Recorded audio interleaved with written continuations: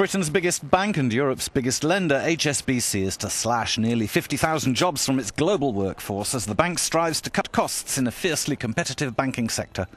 Boss Steve Gulliver says the cost cutting drive, which includes axing the bank's investment arm, will shear off a quarter of the bank's assets.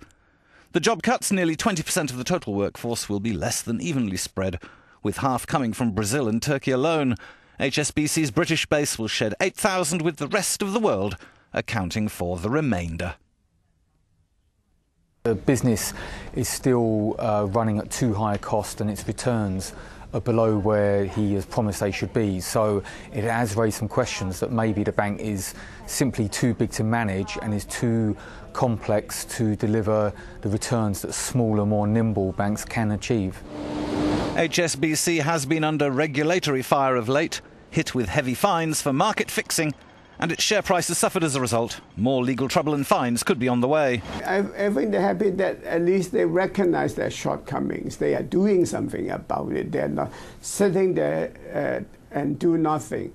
But I really doubt, personally, I don't think they will achieve too much by cutting costs because costs already cut to the bone.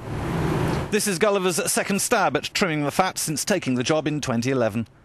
His first attempt was derailed by high compliance costs, fines, low interest rates, and sluggish growth.